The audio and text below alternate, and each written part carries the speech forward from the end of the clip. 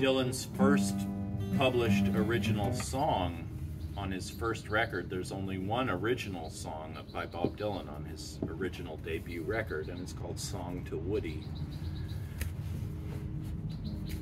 There it is.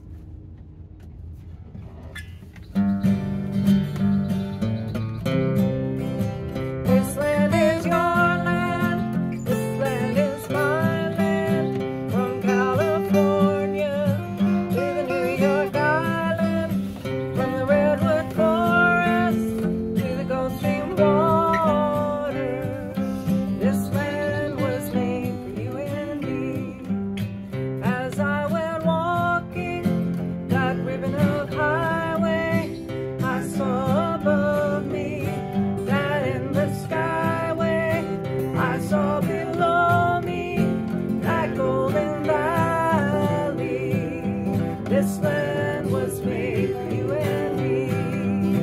When the sun comes shining, and I was strolling, and the wheat fields waving, and the dust clouds rolling. Our voice was chanting, and the fog was lifting.